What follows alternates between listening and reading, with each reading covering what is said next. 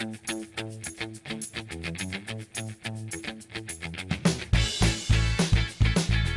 we are going to talk about spring cleaning in the kitchen. Yesterday I was like, you know what, my refrigerator really needs to get cleaned out. I am going to deep clean the inside of my refrigerator. I went in yesterday and I scrubbed, except for the door where all the condiments were because I did have a leak the other day in there. I ended up pulling everything out of the door and scrubbing that side. So I went deep into my fridge. I pulled out all the shelves, all the glass, all the drawers, and so I could see the whole inside of my fridge.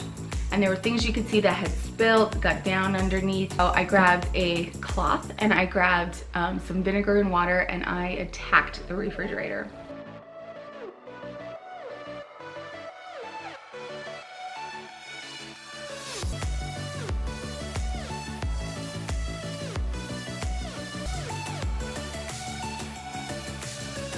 So down in my laundry room, I have this basket. This I got from the good old Dollar Tree. And I have some rags or cloths in here. And I just roll them up, stick them there, stick them on top of my shelf. Grab my rag and I went in with vinegar and water and I scrubbed. And once that was done, I washed all of the shelves, the, the glass, deep cleaned it with hot soapy water. And I just used dish soap and soaked them up good and let them dry on the counter. Went back over with the towel, wiped them dry, and then put them back into the refrigerator.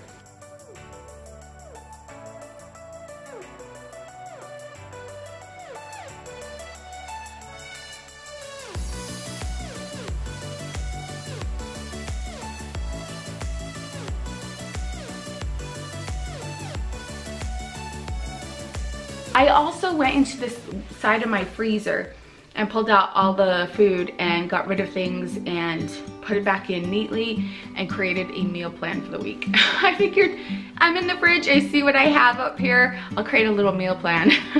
so I got some meals out of it. Down at the bottom of your refrigerator, or at least on mine, is the vent area. I like to get in there and clean those vents, vacuum, scrub, vinegar, water, get in there and clean that part of my refrigerator. So that is on my to-do list still in the kitchen. Now I did clean the microwave, I deep cleaned the inside of it and I love cleaning the microwave. I kind of love it when it does get a little dirty in there and a little crusty because it's like, ah, I love the magic of what vinegar and water and maybe adding some lemon in can do to your microwave. So I grabbed a cup of water and added a fourth cup of vinegar into the water. I put it in a measuring cup and I put it into my microwave. I did it for about three minutes. I let it boil in there and then I let it sit for another two. Then I went in, pulled out the water. I washed the tray, put it back in and just everything just wiped right off. It was like whoosh. I love doing that. I don't mind cleaning the microwave. Super fast clean. I love cleaning the microwave. Then yesterday I decided to clean out my oven. I spilt some shepherd's pie in my oven. It smoked up my house. Yikes.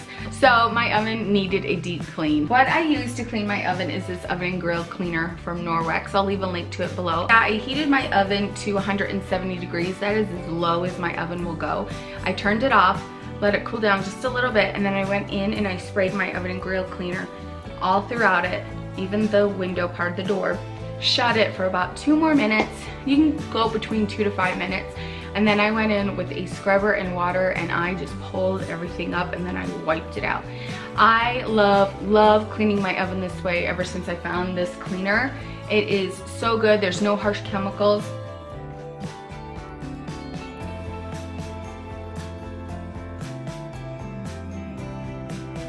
Did you guys know that it's really dangerous to use your self-cleaning oven on your oven? Like you're supposed to literally move your oven far, far, far out away from the wall. One of the leading causes of fires in the home is your oven, like the, the self-cleaning gets way too hot and releases these chemicals from the oven. You're actually supposed to leave the house and grab your animals out, especially your birds. So I figured this is not the way that I want to clean my oven. So I love cleaning my oven this way. Then what I did was something I haven't done in a while was clean that bottom drawer of my oven. This is where we keep like our iron like um, pizza pans that we used to smoke our pizza out outside with. I had to clean down there. I vacuumed out all the crumbs, wiped it down.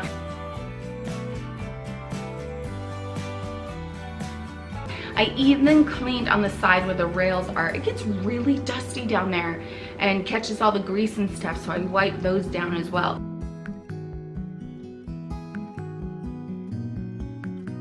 Next thing that I did yesterday was clean under my sink. So I pulled everything out, wiped everything down, and then got rid of anything I didn't need, which basically was a few um, flower vases that I got in the last few months that I didn't need. So I ended up donating those. It's good to just get in there, grab your favorite cleaner. I had a mixture of vinegar and water, and I just cleaned the inside of that and um, felt good. It's a good way to see if you're having any water leakage or damage because one time Derek and I did find a leak that we had no idea about. We had to replace the bottom of our sink. It was quite scary. Um, thank goodness that we have a vent under here because that um, kept the wood dry. Check under your sink periodically, it pays off. Um, I want to steam clean my curtains. They collect odors, all the cooking, they collect odors and things. So I wanna give the curtains a clean. I want to deep dust my blinds here and I want to clean in the window tracks of the window. I also wanna dust high. I wanna get all the cobwebs or dust above um, my cupboards and get all up there on top of the refrigerator as well. But I want to do some more of the deep dusting and wipe out my drawers and wipe out the inside of the bottom cabinets and go through and just see is there any other bowls or do I have too much of something and I could donate it. That is the goal, next goal that I have for spring cleaning in my kitchen. Any tips in this area for everybody, please leave them down below. I would love to know what tools you use, what cleaners you use, how do you tack your kitchen for spring cleaning. See you soon, bye.